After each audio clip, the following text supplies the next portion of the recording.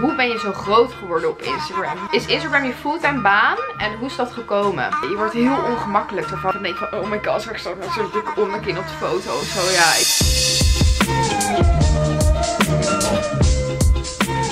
Hey guys, welkom bij een nieuwe video. Sorry dat het zo lang heeft geduurd. Ik was er gewoon eventjes niet aan toegekomen. En ik wil vanaf nu eigenlijk wel weer elke week iets online plaatsen. Vandaag gaan we een Q&A doen. Yay! Ik krijg altijd heel erg veel vragen van jullie in mijn direct message op Instagram. Dus ik dacht misschien is het wel leuk om een keer een Q&A op te nemen. Om alles in één keer te beantwoorden. Dus laten we maar beginnen. De eerste vraag. Oké, de eerste vraag is hoe oud ben je en hoe lang ben je? Ik ben 21 april 24 geworden en ik ben 1,72 meter. Vraag 2. Waarom blijf je in Den Haag wonen en verruil je het niet voor Amsterdam zoals de meeste Instagrammers slash vloggers dat doen? Ik vind op dit moment als ik in Amsterdam bijvoorbeeld kom, dan vind ik het toch wel weer fijn om terug naar Den Haag te gaan. Omdat Amsterdam is zo druk. Oh my god, het is echt niet normaal. Gewoon, je moet continu overal kijken waar je loopt. Helemaal paniek, fietsers, auto's. Uh.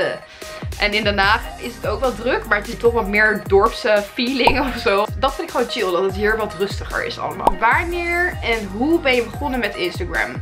Ik ben nu bijna 7 jaar geleden begonnen met Instagram. Even de hond aanpakken. Ja, toen ben ik eigenlijk begonnen. Ik had eerst altijd een Blackberry, maar Instagram die app, dat kon niet op Blackberry, kon alleen op Android en op iPhone. Toen kreeg ik uiteindelijk een iPhone en zo ben ik eigenlijk begonnen. Een vriendinnetje van mij die had al Instagram. En zij volgde dus heel veel mensen dus die echt outfit post plaatsten. Ja, dat vond ik heel erg vet en dat wilde ik zelf ook heel erg graag doen. En ook vaak omdat uh, mensen bijvoorbeeld ik zeiden van, oh je ziet er echt leuk uit. En waar heb je dit van en waar heb je dat vandaan. sindsdien ben ik eigenlijk begonnen met plaatsen. En ja, in het begin was dat gewoon heel onregelmatig. En het was soms één keer in de twee weken en soms weer drie keer per week. Begin 2017. En toen ben ik eigenlijk begonnen met elke dag gaan posten plaatsen. Ja, nu ben ik hier. De volgende vraag is, hoe ben je zo groot geworden op Instagram? Ja, dat is echt een vraag die ik heel vaak krijg van mensen. En ik vind het heel moeilijk om daar antwoord op te geven. Ik weet zelf het antwoord namelijk ook niet echt. Je moet heel erg actief zijn in de Instagram community. Dus veel reageren, veel liken. Dat is dus belangrijk. Ik denk dat het heel belangrijk is dat je echt een eigen stijl creëert. Dat je niet te veel naar andere mensen op Instagram kijkt en hun heel erg probeert te, en hen heel erg probeert te kopiëren.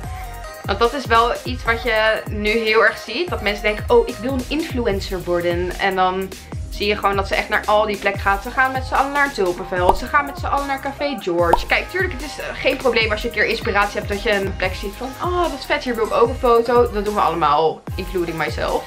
Maar ik denk dat het wel belangrijk is dat je ook nieuwe locaties bijvoorbeeld spot. En ja, gewoon dat je echt een beetje je eigen ding creëert. En dat is bijvoorbeeld wat ik heel erg heb gedaan met Den Haag. Ik vind het gewoon heel erg leuk om Den Haag in een ander licht of zo te zetten. Als ik ergens naartoe ga, probeer ik heel erg om me heen te kijken van, oh, wat is vet. Want dan slaat dat toch op dat heel veel mensen denken dat je in Amsterdam moet wonen om een influencer te worden. Of dat alleen in Amsterdam kan je het maken. En ik denk dat dat echt fucking bullshit is. Weet je, als jij in Utrecht woont, kan je in Utrecht ook genoeg vette plekken vinden om te fotograferen. En daarvoor hoef je niet per se naar Amsterdam af te reizen. Ik denk dat mensen dat toch ook wel leuk vinden. Dat je echt een beetje je eigen dingetje hebt. Ja, verder. Ja, maar ik denk wel dat het een stuk moeilijker is dan hoe het, uh, dan hoe het vroeger ging. Omdat er weinig concurrentie was, kreeg je gewoon veel sneller veel volgers. Omdat er, ja, er waren niet echt veel andere accounts die hetzelfde deden. En dat is natuurlijk nu wel zo. Ik denk dat ik ook wel gewoon deels wel geluk heb gehad of zo. I don't know. Next question is, is Instagram je fulltime baan en hoe is dat gekomen?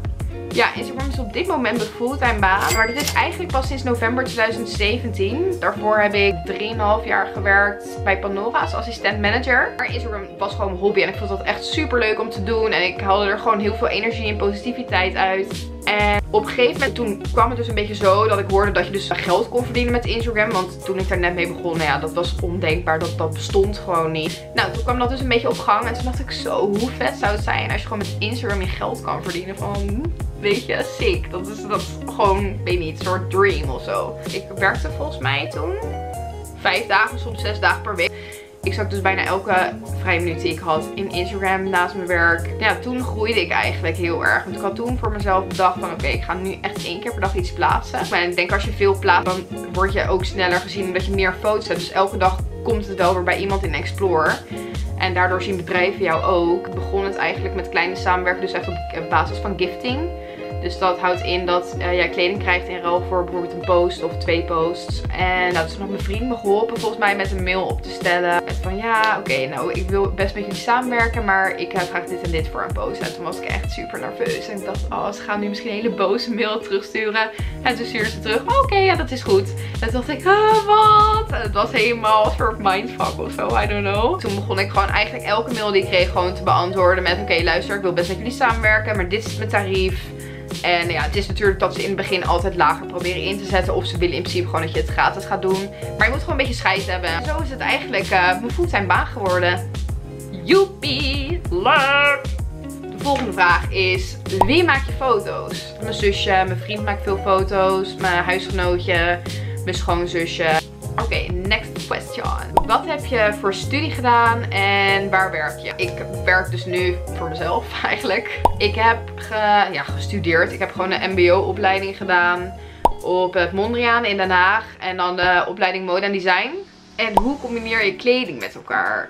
Dit zou dan een outfit zijn bijvoorbeeld. Ik denk niet dat dit iets is wat, wat je normaal snel bij elkaar zou pakken. Maar ik vind het dus gewoon leuk om verschillende kleurtjes bij elkaar te doen. En meestal werkt dat dus best wel goed. Toch dingen proberen die je normaal gesproken niet echt uh, snel bij elkaar zou dragen. Bijvoorbeeld van die lila sneakers bij een lichtgele trui zouden doen. En dan nog een drukke broek. En dan nog een jasje met allemaal pareltjes erop. Hey guys, I'm back! Uh, ik kon gisteren helaas niet de uh, video afmaken. Maar dan weet je waarom ik opeens weer anders uitzie. En waarom mijn kamer weer een tering zo is. Alright, up to the next question.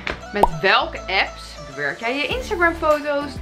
Ik uh, gebruik voornamelijk VSCO. Ik gebruik Afterlight. Ik gebruik Lightroom. De Instagram filters. Um, en dan vooral dat je het handmatig kan aanpassen. Dus niet echt die standaard uh, Instagram filters, maar gewoon die aanpassingjes. Dan hebben we, hoe krijg je net als jou een lopend Instagram account en heb je tips? Ik denk dat het heel erg belangrijk is dat jij echt een duidelijke eigen stijl hebt. En een beetje een unieke feed. Dus wat, wat je bij mijn feed bijvoorbeeld heel erg ziet. Ik werk heel erg met kleur en dan ook echt met felle kleuren. Ik noem het altijd een beetje een soort regenboogfeed.